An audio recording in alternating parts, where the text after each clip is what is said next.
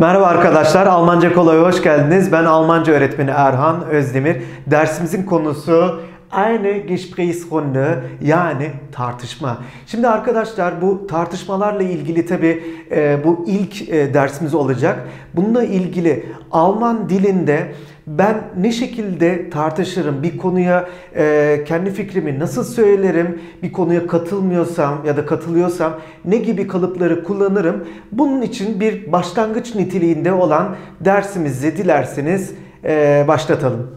E, öncelikle bir konu seçmemiz gerekiyordu. Ben şu konuyu seçtim arkadaşlar.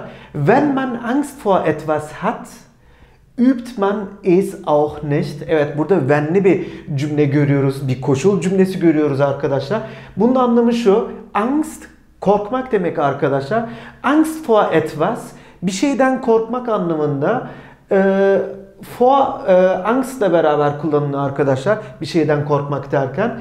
Üben, üben neydi? Etüt etmek demekti. Yani üzerinde çalışmak, üzerine gitmek anlamında. Yani bu cümle bize diyor ki insan bir şeyden korkarsa e, onu yapmaz. Yani onu yapmaya cesareti yoktur. Onun üstesinden gelmek istemez anlamında. Wenn man e, Angst vor etwas hat, übt man auch nicht gibi bayağı e, katılabilirsiniz ya da katılmayabilirsiniz. Bayağı ucu açık bir e, cümle öyle değil mi? Dolayısıyla ben şimdi bu konuya dair fikrimi beyan etmek istediğimde, fikrimi söylemek istediğimde seine Meinung ausdrücken Ausdrücken arkadaşlar ayrılabilir bir fiil yapısı.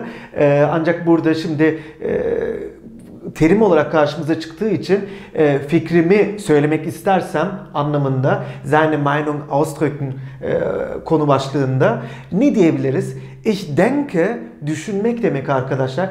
Ich finde şöyle buluyorum. Ich glaube buna inanıyorum ya da böyle düşünmüyorum derken ich denke nicht.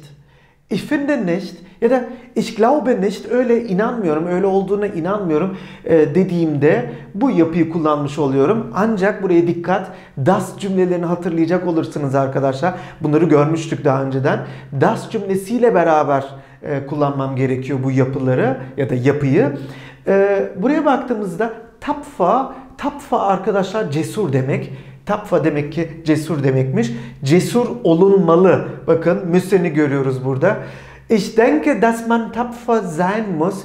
Ben e, şöyle düşünüyorum. İnsan cesur olmalı derken ich denke, dass man tapfer sein muss diyebilirim. Ya da öyle buluyorum derken ich finde, dass man tapfer sein muss ya da öyle inanıyorum. Ich glaube, dass man tapfer sein muss. Tabi olumsuz da yapabilirdik ama evet e, cesur olunulmamalı gibi bir anlam da çıkabilir pekala.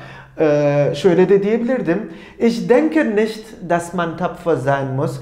Ich finde nicht, dass man tapfer sein muss. Ya da ich glaube nicht, dass man tapfer sein muss gibi evet, birazcık dediğim gibi ucu açık bir şey. Korkulara karşı cesur olunmalı mı? olunmamalı mı? Bunu isterseniz yorumlarla siz de yazabilirsiniz. Tabii Almancasını yazarsanız ne kadar güzel olur.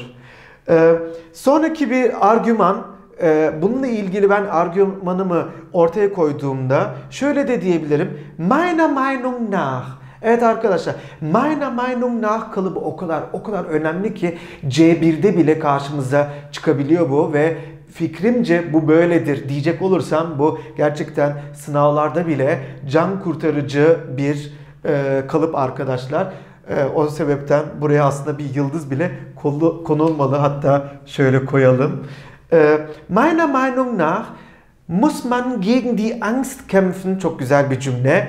Ee, benim de katıldığım bir cümle bu. Benim fikrimce muss man gegen die Angst korkuya karşı kämpfen savaşmak demek arkadaşlar. Fikrimce korkuya karşı savaşılmalı denildiğinde demek ki meiner Meinung nach muss man gegen die Angst kämpfen demiş oluyoruz. Bir sonraki argümana geçtiğimizde arkadaşlar ich glaube bakın burada da gene inanmak demek arkadaşlar. Gene daslı bir cümle görüyoruz. Ich glaube nicht ya da ich glaube, dass jeder mutig ist. Mutig e, tıpkı tapfada olduğu gibi arkadaşlar cesur demek. Ben inanıyorum ki jeder herkes demek arkadaşlar. Ben inanıyorum ki herkes cesur. Dolayısıyla ne diyeceğim? Ich glaube, dass jeder mutig ist ya da hiç sanmıyorum herkes cesur değil derken ich glaube nicht, dass jeder mutig ist. Dediğim gibi çok ucu açık bir şey. Katılırsınız, katılmazsınız bunları mutlaka yorumlara yazalım arkadaşlar. Ee, sonraki argümana geçecek olursak ich bin mir sicher sicher emin olmak demek arkadaşlar ya da ich bin mir nicht sicher emin değilim Weil cümlesi görüyoruz arkadaşlar. Weil'e e, evet ilgili dersimizde weil cümlesinde görmüştük. Menschen, die Menschen neydi arkadaşlar? İnsanlar demekti. Menschen sich unterscheiden. Sich unterscheiden bunu daha önceden görmemiş olabiliriz arkadaşlar. E, e, bu refleksiflik gerektiren bir fiil. Sich unterscheiden. İnsanlar kendi aralarında değişir anlamında arkadaşlar. Yani insandan insana fark vardır demeye getiriyoruz. Dolayısıyla e, emin değilim çünkü insandan insana değişiklik arz eder diyecek olursak demek ki e, nicht'i kullanmam gerekiyor. Ich bin mir nicht sicher, weil Menschen sich unterscheiden. Emin değilim çünkü insanlar insandan insana fark vardır demiş oluyorum. Dolayısıyla ya da eminim diyecek olsaydık ich bin mir sicher, weil Menschen sich unterscheiden. Ancak burada sanki nicht daha e, güzel olurdu diye düşünüyorum. Dolayısıyla bu parantezi kaldırsak daha şık olmuş olur. Dolayısıyla ich bin mir nicht sicher, weil Menschen sich unterscheiden diyebiliriz. Dilerseniz bu cümleleri doğru telaffuzlarıyla tekrarlayalım. Ich denke, dass man tapfer sein muss. Ich denke nicht, dass man tapfer sein muss.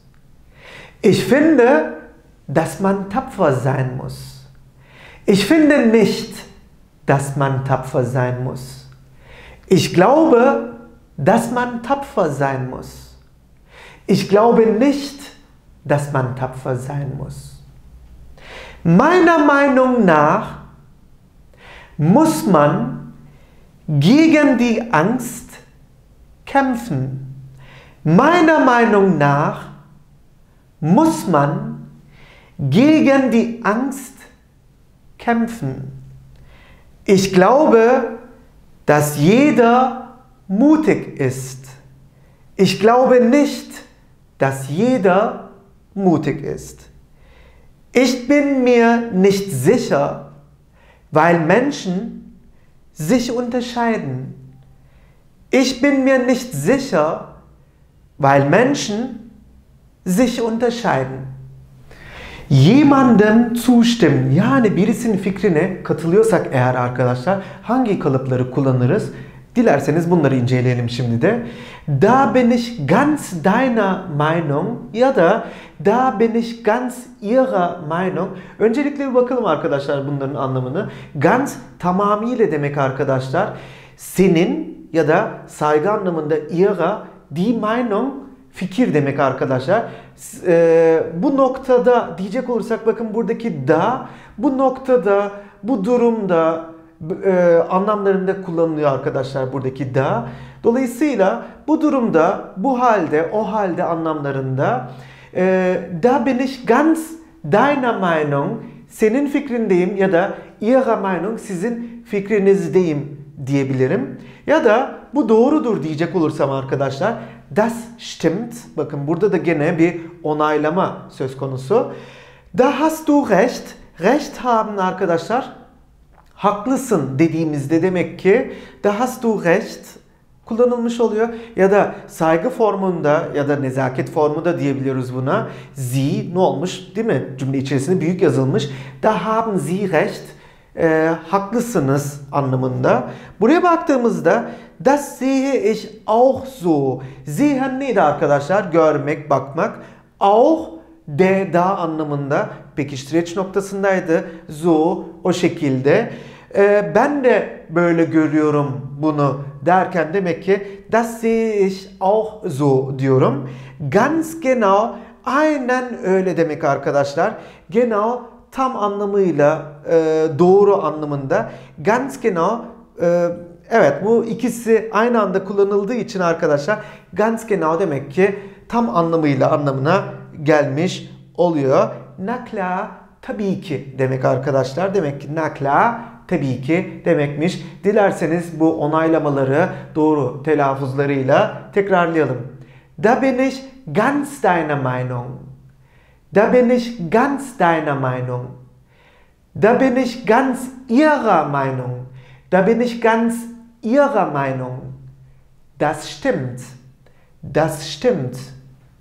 Da hast du recht. Da hast du recht. Da haben Sie recht. Da haben Sie recht. Das sehe ich auch so. Das sehe ich auch so. Ganz genau. Ganz genau. Na klar. Na klar. Jemandem widersprechen Widersprechen, itiraz etmek demek arkadaşlar. Birisinin fikrine eğer katılmıyorsak hangi e, kalıpları kullanırız? Onlara bir bakalım isterseniz. Ich bin nicht deiner Meinung. Die Meinung fikir demekti öyle değil mi?